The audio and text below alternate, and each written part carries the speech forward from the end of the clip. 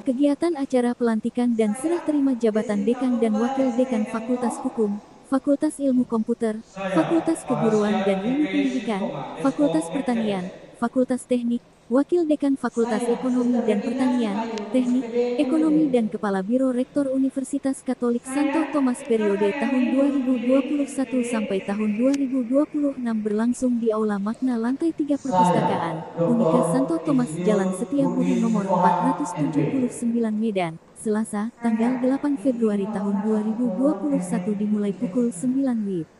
Acara dibuka dengan upacara nasional disertai doa pembukaan oleh Pastor Gatlif Sianioar, PhD, diteruskan dengan pembacaan surat keputusan yang dibacakan Wakil Rektor 1, Dr. Zakarias Situmorang, MT, berjumlah 7 nomor surat keputusan sesuai dengan kebutuhan fakultas dan rektorat. Sebelum diambil sumpah jabatan, para pimpinan yang akan dilantik terlebih dahulu menandatangani fakta integritas yang disaksikan oleh pihak Yayasan Universitas Santo Thomas Medan. Untuk berita selengkapnya, bisa dibaca di kanal berita online media delegasi.id.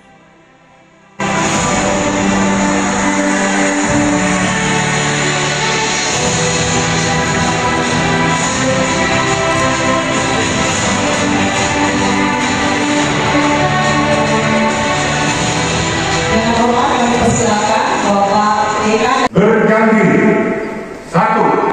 Bertakwa kepada Tuhan yang Maha Esa dua menjalankan tugas dan kewajiban dengan sebaik-baiknya secara ikhlas sungguh-sungguh jujur dan penuh tanggung jawab tiga menjunjung tinggi kerjasama kebersamaan dan solidaritas dalam keluarga Universitas Katolik Santo Thomas apabila dalam masa jabatan melakukan kesalahan, kami bersedia untuk menerima sanksi sesuai dengan peraturan yang berlaku. Medan 8 Februari 2022.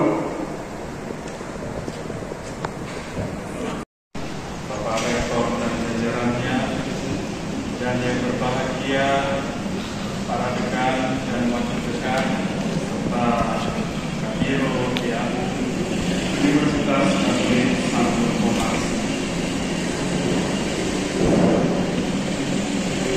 Panitia seleksi universitas mulai bekerja pada awal November setelah rektor Universitas Katolik Santo Thomas menyetujui SK penjaringan di lingkungan Universitas Santo Thomas untuk enam fakultas. Sudah lama memang beberapa fakultas memiliki dekan atau wakil dekan PLT dan rektor merasa perlu untuk membuat panitia seleksi di tingkat universitas agar pemilihan dekan dan wakil dekan di fakultas bisa berjalan dengan baik. Setelah ditetapkan panitia dan kriteria penentu seleksi dekan dan wakil dekan, pada akhir bulan November seperti yang mengingat dan seterusnya memperhatikan dan seterusnya memutuskan dan menetapkan. Untuk kepentingan lembaga Universitas Santo Thomas mengangkat Agus Haryanto Siwono SD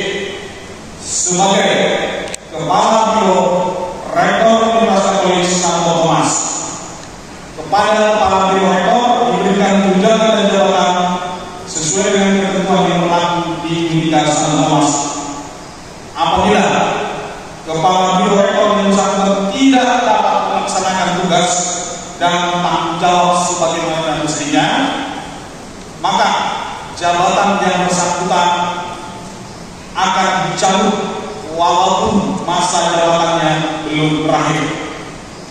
Setiap tahun, Kepala Biro menyampaikan laporan tahunan kepada rektor.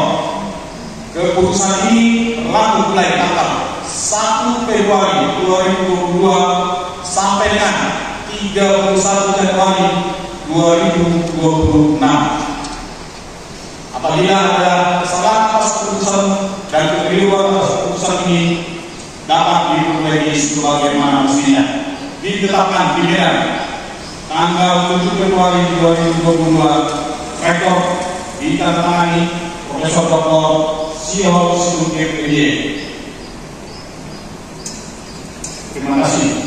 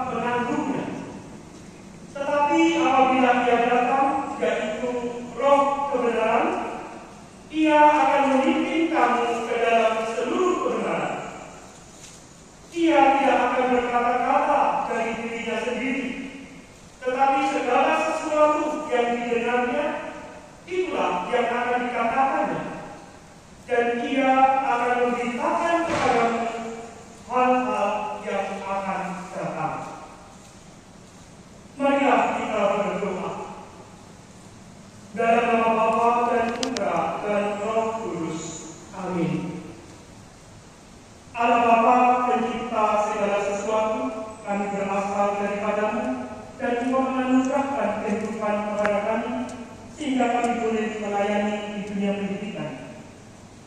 Berilah kami kerendahan hati supaya kami boleh